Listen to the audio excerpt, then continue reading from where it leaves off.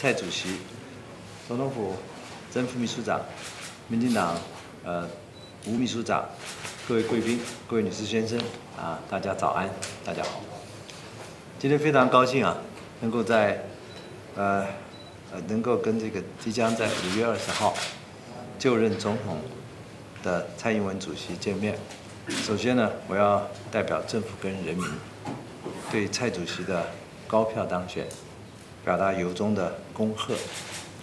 蔡主席即将成为我们中华民国宪政史上第一位女性的总统。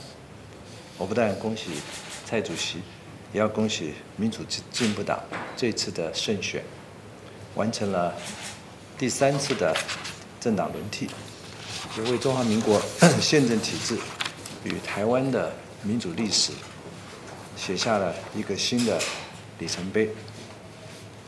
台湾今天面临内外许多的挑战，为了公共利益跟全民的福祉，朝野政党必须从对立呢走向真心和解，进一步呢真诚的合作，才能够真正突破台湾目前面临的各种困境。蔡主席在今年一月十六号曾经公开表示，要求民进党全体党公职人员。谦卑，谦卑，再谦卑。也在一月二十一号要求民进党立委，觉得绝对不可以故意刁难或者羞辱内阁的官员。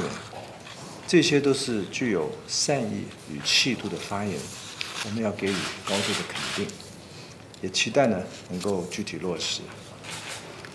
我希望台湾朝野政党能够把把握政权交接的这个沟通的良机。以及目前和谐的气氛，用对话寻求共识，共同展开和解与合作的新纪元。过去这八年，我非常感谢台湾人民给我这个服务的机会。为了打造一个自由、公益与繁荣的台湾，和和平的台湾海峡，以及友善的国际环境而努力。来达成中华民国宪法以及国民对我的付托。现在我们即将要把棒子交给蔡主席。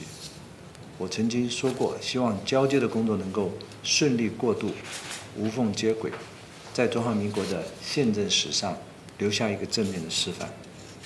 到目前为止，交接小组也的确气氛很融洽，工作很顺利，我们感到很欣慰。近来呢？呃，在立法院，民进党有关于总统交接法律化的讨论，我们支持任何在中华民国宪法允许范围内进行交接条例的立法。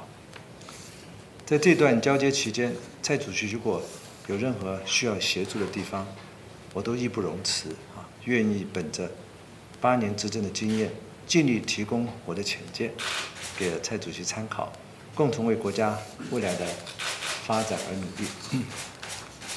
等一下闭门会谈的时候，也许我们可以跟蔡主席就各项的国政议题交换意见。